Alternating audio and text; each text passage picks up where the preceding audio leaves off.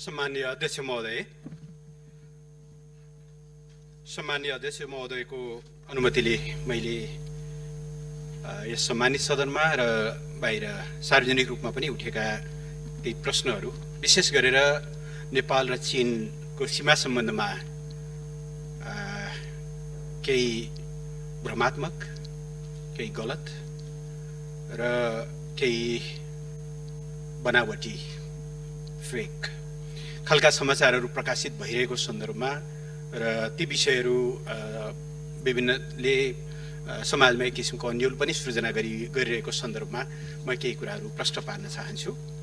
विगत केही दिन अगाडि केही सार्वजनिक सञ्चार माध्यमहरूमा कृषि मन्त्रालयको हवाला दिएर कृषि मन्त्रालय नापी शाखाले पठाएको प्रतिवेदनमाथि आधारित भनेर सिलसिलेवार ढङ्गले सार्वजनिक सञ्चार माध्यमहरूमा केही समाचार आए जसमा नेपालका विभिन्न भूभागहरू चिनले अतिक्रमण गरेको भन्ने ढङ्गले चाहिँ न्युजहरू बने। हामीले त्यसको सत्यताको अन्वेषण गऱ्यौँ त्यसलाई सत्यापन गर्ने कामहरू गऱ्यौँ र कृषि तथा पशुपन्छी विकास मन्त्रालयले त्यस सम्बन्धमा स्पष्ट पनि पारिसकेको छ। कृषि मन्त्रालयले गएको असार एघार गते कृषि मन्त्रालयको प्रतिवेदन भनिएको स्रोत उल्लेख गरेर सतहत्तर असार दस गते कान्तिपुर दैनिक र अन्य केही सञ्चार माध्यमहरूमा प्रकाशित चीनतर्फ पनि सात जिल्लामा सीमा अतिक्रमण भन्ने समाचारप्रति कृषि तथा पशुपन्छी विकास मन्त्रालयको ध्यान आकर्षण भएको छ। उक्त समाचारको आधार बनाइएको प्रतिवेदन यस मन्त्रालयबाट प्रकाशित नै नभएको र सो सम्बन्धी विषय म यस मन्त्रालयको कार्यक्षेत्र समेत नभएकोले उक्त समाचारमा कुनै सत्ता नरहेको भनेर जसलाई आधार बनाएर यी फेक समाचारहरू बनाइएका थिए सम्बन्धित मन्त्रालयले नै खण्डन गरिसकेको बेहोरा पनि म सम्मानित सदनमा जानकारी गराउन चाहन्छु। त्यसै गरी परराष्ट्र मन्त्रालयको तर्फबाट पनि हामीले यस सम्बन्धमा प्रश्न पारेका छौँ। त्यो कृषि मन्त्रालयको प्रतिवेदन स्वयंले खण्डन गरेको अवस्था छ। त्यसबाहेक यो चाहिँ नेपाल र चिनको वर्तमान सीमा पाँच अक्टोबर उन्नाइस सय एकसाठीमा भएको सीमा सम्बन्धी सन्धि र त्यस पछाडिका प्रोटोकलहरूद्वारा निर्धारित भएको।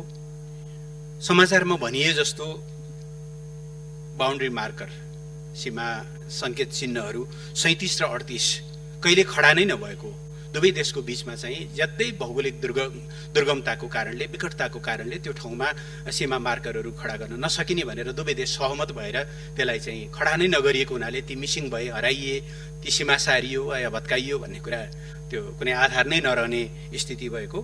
र अन्य कतिपय प्रश्नहरू हामीले त्यसको बारेमा परस्पर छलफल गरेर टुङ्ग्याउन सकिने र दुवै देशको बिचमा त्यस विषयमा निरन्तर छलफलहरू भइरहेको भएको हुनाले यस्ता खालका दुई देशको सम्बन्धमा प्रतिकूल प्रभाव पर्ने खालका समाचार सम्प्रेषित पनि नगर्न र यस्ता भ्रामक समाचारबाट प्रभावित पनि नहुन अथवा यसलाई यसबाट भ्रममा नपर्नको निम्ति पनि हाम- हाम्रो मन्त्रालयले परराष्ट्र मन्त्रालयले स्पष्ट पारिसकेको अवस्था छ।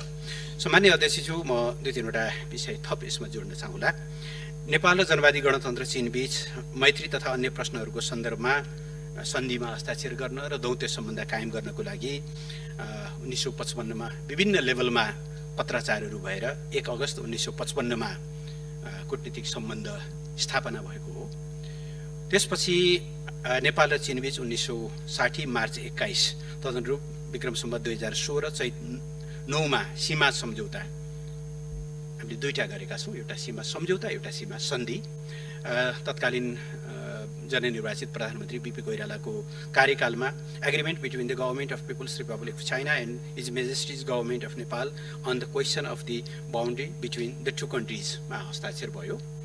र उक्त सम्झौता अनुसार दुवै देशका प्रतिनिधि सम्मिलित संयुक्त समिति गठन गर्ने र सो समितिले सीमा स्तम्भहरू खडा गर्ने एवं सीमा सन्धिको मस्यौदा तयार गर्ने जिम्मेवारी दिइएको थियो। त्यो अवसरमा चीनले शान्ति तथा मैत्री सन्धि सम्पन्न गर्न समेत प्रस्ताव गरेको थियो र सोही अनुसार सन् साठीको अप्रेल अठाइसमा शान्ति तथा मैत्री सन्धिमा हस्ताक्षर पनि भएको हो।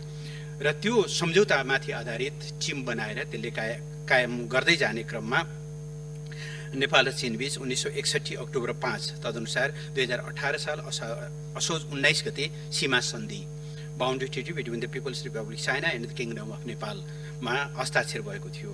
यस सम्झौतामा परम्परागत प्रचलित सीमारेखा संयुक्त रूपमा गरिएको स्थलगत अनुसन्धान तथा सर्वे एवं दुई देशबीच मित्रता समानता आपसी लाभ तथा आपसी सम्झौताका आधारमा समग्र सीमारेखा तय गर्ने उल्लेख गरिएको छ।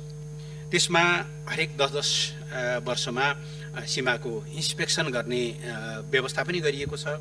र त्यसअनुसार one is to five hundred thousand अथवा एक बराबर पाँच लाख मानको दुईवटा र one is to fifty thousand अथवा एक बराबर पचास हजारको चाहिँ मापका छवटा नक्साहरू तयार गरेर दुवै देशको बिचमा उनासीवटा स्थानमा अन्ठानब्बेवटा स्थायी सीमा चिन्हहरू स्थापना गरिएको हो जसमध्ये चाहिँ तेत्तिस सैँतिस र अडतिस त्यति बेला स्थापना गर्न सकिएको थिएन।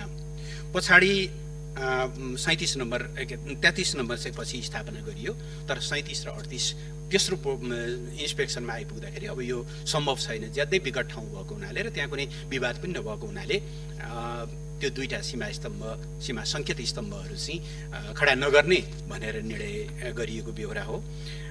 त्यस्तै गरी यसको पहिलो संयुक्त निरीक्षण उन्नाइस सौ उनासीमा भयो। उन्नाइस सौ सतहत्तरमा त्यसको पहिलो निर संयुक्त निरीक्षण समिति बनेको थियो र त्यसले उन्नाइस सौ उनासीमा पहिलो संयुक्त निरीक्षण कार्य सम्पन्न गरेर प्रोटोकल दोस्रो प्रोटोकल पहिला सन्धि भए लगत्तै पहिलो प्रोटोकल तयार भएको थियो भनेदेखि दोस्रो प्रोटोकल चाहिँ पहिलो इन्सपेक्सनपछि निरीक्षणपछि दोस्रो प्रोटोकलमा हस्ताक्षर भएको छ।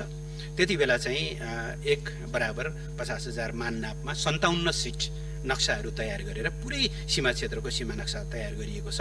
त्यति नै बेला पनि तेत्तिस सैँतिस र अडतिस निर्माण गर्न सकिएको थिएन। तर पहिले निर्माण गरेका सन्ताउन्न र बैसठी नम्बर पिलरहरू फेला पर्न सकेका थिएनन् त्यति बेलाको निरीक्षणमा। दोस्रो संयुक्त निरीक्षण उन्नाइस सौ उनानब्बेमा भएको हो। त्यसमा सन्ताउन्न र बैसठीको खोजी गर्दा त्यति बेला पनि ती दुईवटा भेटिएनन्। तेत्तिस चाहिँ त्यति बेला निर्माण गरियो। सैँतिस र अडतिस निर्माण हुन नसकेको अवस्था थियो भनेदेखि तेस्रो संयुक्त निरीक्षण दुई हजार छदेखि सुरु भयो र पाँचवटा टोलीहरू बनाएर निर्माण गरिएको गरिएको थियो। त्यति बेलाको निरीक्षणमा चाहिँ सन्ताउन्न र बैसठी नम्बर पिलर फेला परेका छन्। सीमा मार्करहरू। पिलर भन्नाले नेपाल भारत सीमामा जस्तो खालको पिलरहरू छ। त्यहाँको भौगोलिक अवस्था हेर्दा कुनै ठाउँमा पहरामा खोपेर यो हो सीमा भनिएको छ। कहीँ सीमा यहाँभन्दा यतापट्टि पर्छ भनेर सङ्केत गरिएको छ। त्यसै भएर त्यसलाई बााउन्ड्री मार्कर भन्ने गरिएको अवस्था छ। र त्यति नै बेला चाहिँ अनि दुई दुई ठाउँमा चाहिँ सहायक स्तम्भहरू बनाउनु पर्ने थियो। चौन्न नम्बर स्तम्भको एक एक र चौन्नको एक दुई। त्यो पनि त्यति बेला निर्माण गरिएको अवस्था थियो। भनेदेखि अब सैँतिस र अडतिस चाहिँ बनाउन नसकिने भन्ने निष्कर्षका साथ सयवटा बनाउने भनिएकोमा हाल चाहिँ अन्ठानब्बेवटा सीमा स्तम्भहरू रहेको सीमा सङ्केत चिन्हहरू रहेको बेहोरा म सम्मानित सदनलाई जानकारी गराउन चाहन्छु। त्यही तेस्रो संयुक्त सीमा निरीक्षणले तिन चारवटा महत्त्वपूर्ण निर्णयहरू गरेको छ। पहिलो चाहिँ यी सीमाहरूमा एकुरेसी होस् भन्नका निम्ति GIS system geographical information system जडान गर्ने ताकि भोलि कहीँ कतै सीमाहरू हराउँदा अथवा हिउँले पुरिँदा त्यस्तो अवस्थामा पनि त्यसको कुनै विवादहरू नहोस् भन्नका निम्ति जिआइएस लागू गर्ने निर्णय गरेको छ। त्यसलाई अन्तिम रूप दिनुपर्ने कामहरू बाँकी छ। खास गरेर पश्चिमतिर त्रिदेशीय बिन्दु टुङ्गो गर्न बाँकी छ। मैले अगाडि पनि सम्मानित सदनमा जानकारी गराएको छु। चिनसँगको हाम्रो सीमा पिलर नम्बर एकबाट सुरु हुन्छ। टिङ्कर भन्ज्याङभन्दा अलिकति माथिपट्टि पिलर नम्बर एक गाडिएको छ र त्यहाँभन्दा पश्चिम पर्छ हाम्रो त्रिदेशीय बिन्दु भनिएको छ। तर भारतसँगको सीमा नटुङ्गिएको कारणले हामीले जिरो नम्बर पिलर गाड्न सकेका छैनौँ। अहिले भारतसँग हाम्रो चलिरहेको छलफल टुङ्गो लागिसकेपछि नेपाल भारत र चिनको त्रिदेशीय बिन्दु तयार हुनेछ र त्यो त्रिदेशीय बिन्दुमा चाहिँ हामीले पिलर नम्बर एक अथवा बााउन्ड्री मार्कर नम्बर एक गर्ने टुङ्ग्याउनेछौँ। त्यो एउटा काम गर्नुपर्ने बाँकी छ। जिआई जिआइएसलाई फुल्ली त्यसलाई इम्प्लिमेन्ट गर्नुपर्ने बाँकी छ। त्यसबाहेक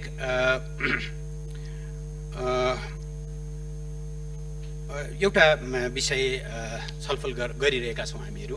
खास गरेर सगरमाथाको उचाइको सन्दर्भमा चाहिँ सगरमाथाको उचाइ स्नो लाइनलाई मान्ने कि रक चाहिँ बेसलाई मान्ने भन्ने बारेमा चाहिँ दुईवटा देशको बिचमा छलफलहरू चलिरहेको छ।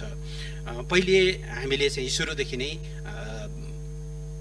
स्नो लाइनलाई मानेर आठ हजार आठ सय अडचालिस मिटर त्यसलाई त्यसको उचाइ मान्दै आएका छौँ। संसारले पनि यही कुरा मान्दै आएको छ। तर बिचमा चिनले आफूले नापी गर्दा उसले चाहिँ हिउँको रेखाभन्दा तल वास्तविक रक कति हो त? भन्दाखेरि आठ हजार आठ सय चौवालिस पोइन्ट चार तिन भनेर उसले चाहिँ नाप गर्यो। तर सगरमाथा बाटै सिमाना जाने भएको कारणले गर्दा त्यसको हाइट चाहिँ दुवै देशको सहमतिबाट मात्रै टुङ्ग्याउन सकिने अवस्था हुन्थ्यो। त्यस कारणले त्यो विषय टुङ्गिएको अवस्था थिएन। नेपालले त्यतिन्जेल आफ्नो तर्फबाट नापी गरिसकेको अवस्था थिएन। नापी विभागका हाम्रा कर्मचारीहरूले निकै साहसका साथ निकै सुझबुझका साथ र निकै जोखिम मोलेर माथाको उचाइ नाप्नु भएको छ। त्यसका डाटा प्रोसेसिङका कामहरू अहिले सम्पन्न करिब करिब भइ नै सकेका छन्। यसबिचमा चिन तर्फबाट पनि आफ्नो तिरको पाटो उहाँले नाप्नु भएको छ।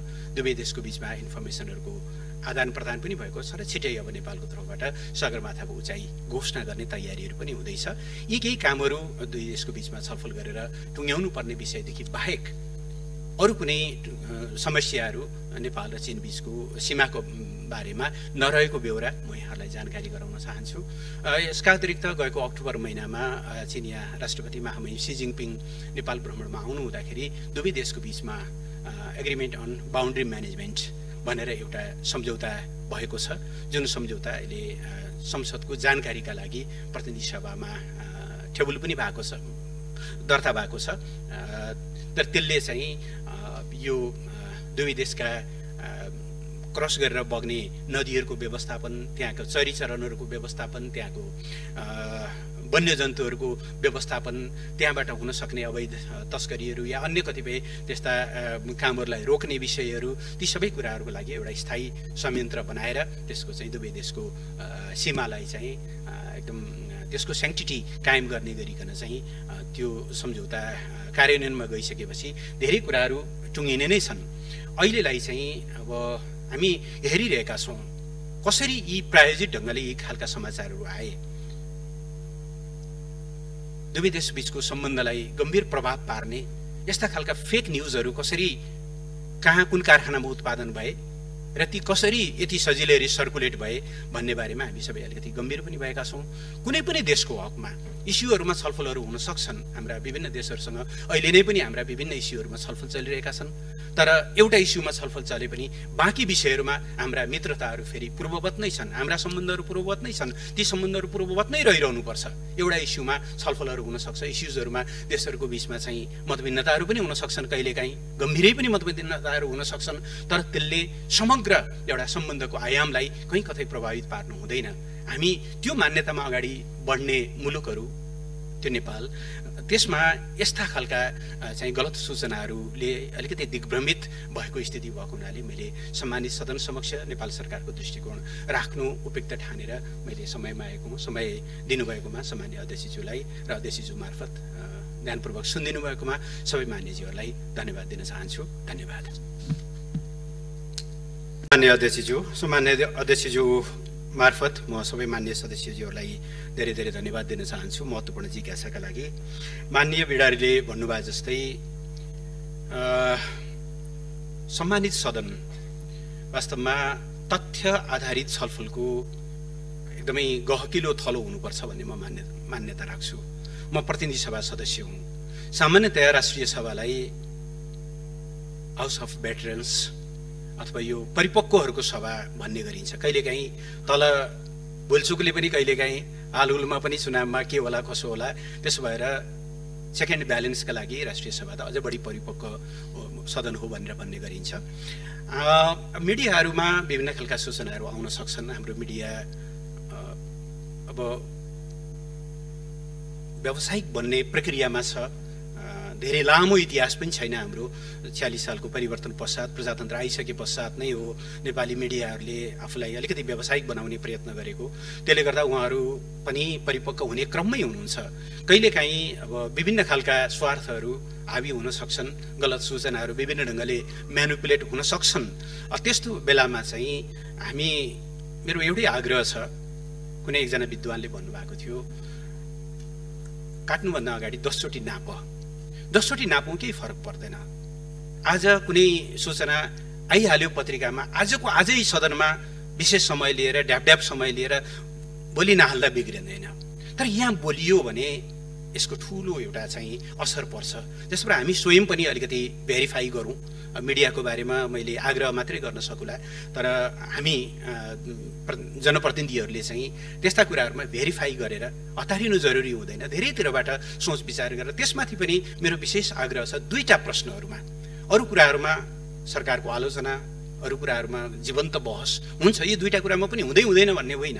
तर सामान्यतया विदेश नीति र राष्ट्रिय सुरक्षा असाध्यै संवेदनशील विषयहरू हुन् यी दुईवटा कुरामा बहसमा आउँदाखेरि हामीले चाहिँ सूचनाहरूलाई क्रस भेरिफिकेसन गरेर अगाडि बढ्नु राम्रो हुन्छ भन्ने म आग्रह गर्न चाहन्छु यी समाचारको बारेमा सरकारको ध्यान गएको छ केही सञ्चार माध्यमहरूले सार्वजनिक रूपमा क्षमा याचना गर्नुभएको छ भुल सुधार गर्नुभएको छ सच्याउनु भएको छ म उहाँलाई धन्यवाद पनि भन्न चाहन्छु भोलिका दिनहरूमा यस्ता गल्तीहरू नदोहोरिउन् भन्ने कुरामा हाम्रो आग्रह छ तर त्यो सो कल्ड प्रतिवेदन कहाँनिर कुन कारखानामा उत्पादन भयो भन्ने बारेमा पनि सरकारको गम्भीर त्यसले चाहिँ त्यसको हामीले खोजी गरिरहेका छौँ।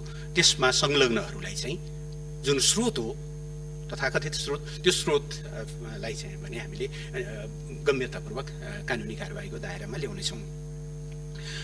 माननीय प्रमिलाले उठाउनु भएको विषयमा हामी मैले मसँग अहिले गोर्खा जिल्लाको जिल्ला प्रशासन कार्यालयको प्रतिवेदन पनि छ यो विषयमा। कुरा आइसकेपछि वास्तवमा भएको के हो भनेर हामीले त्यहाँ सोधेका पनि थियौँ।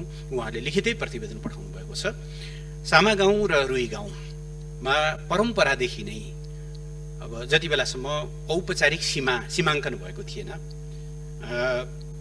अब जस्तो अरू कतिपय ठाउँमा लेख बेसी भने जस्तो चरी चरण कहिले यताका भेडाहरू लिएर उता जाने कहिले उताका भेडाहरू लिएर यता आउने कहिले यताको खर्क यता बसाउने कहिले उताको खर्क उता बसाउने दुवैतिर चाहिँ लेनदेन कारोबारहरू भइरहेको स्थिति थियो।